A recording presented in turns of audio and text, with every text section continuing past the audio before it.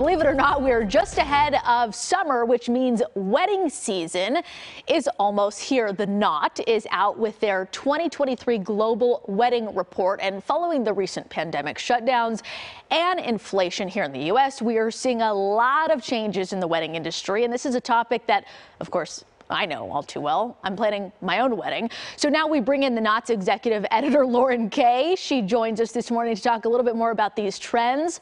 Lauren, good morning, and thank you so much for joining us on a Sunday. Oh, good morning. So happy to be here. Happy to have you. So we want to start out with one of, you know, the biggest questions right now, of course, amid inflation. How much does the average wedding cost in 2023 based on the amount of guests and how is this affecting wedding budgets? And, and Lauren, I feel like the answer is going to surprise a lot of people.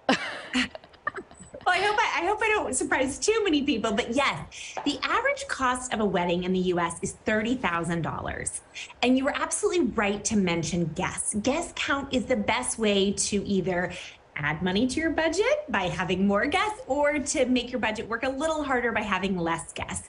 So we are finding that across the country really we're seeing a lot of couples get married our average guest count in the us is 117 guests but globally it's much bigger in india they have an average of 285 guests, which is actually lower than pre pandemic levels. So, depending on where you are in the world, you may have a different guest size, but that is a really big contender on how far your budget can go. How interesting. And it really depends based on where you are. Um, yes. You know, we talk a lot about wedding trends, and, uh, you know, I feel like I'm seeing a lot of like champagne towers, but I want to, you know, we want to get your take on it. What is, are the newest, you know, and biggest trends for 2023 weddings right now? Sure. So last year was our Super Bowl of weddings. 2.6 million people got married, which was huge. This year, it's all about transformation. Weddings look different. And that's in part to the global pandemic and the way we had to shift and pivot. And it's also in part to couples. They are really prioritizing redefining traditions and the guest experience. So I love seeing this because it really is about the guests and about the couple themselves. So we are seeing everything from dancers, live performers, we've even seen tattoo bars.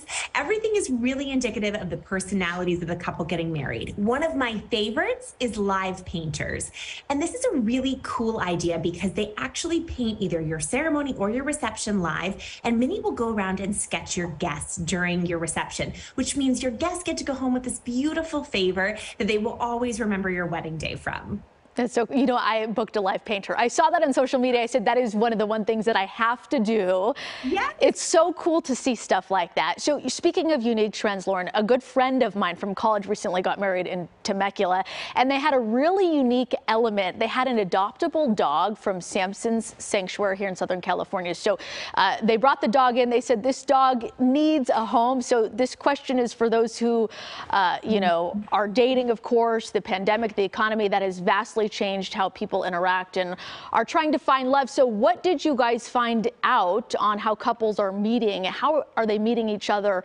And how long are they dating before marriage? Yes. So, as you mentioned, this is a global wedding report. So, we really took a look at 15 countries and 25,000 couples who got married in 2022. And what we found is that seven in 15 countries are still meeting in person. They're still connecting through a mutual friend or an acquaintance. Italy leads the charge there with 33%. In the US, though, Canada and the UK, it is online. So three in 10 are actually finding their someone on a dating website, which I think is just great. And then in Latin America, work really leads the charge. People are meeting uh, their significant others at work. 33% in Peru specifically, they lead the charge there. And as you said, couples are just doing it a little differently. We're finding in North America and Europe, three quarters are actually living together before they tie the knot. Some are actually starting families. In France, we saw the largest number of couples getting together with children already in the mix. So, again, this is another moment of just really redefining those traditions and doing what feels right to you as a couple. Very cool. And Lauren, it's kind of nice to know that some people are still meeting in person and not just through dating apps. Of course, dating apps have revolutionized revolutionized the way that people, you know, get out and meet, but nice to hear that. Well, thank you so much, Lauren, and we will be right back with your headlines after the short break.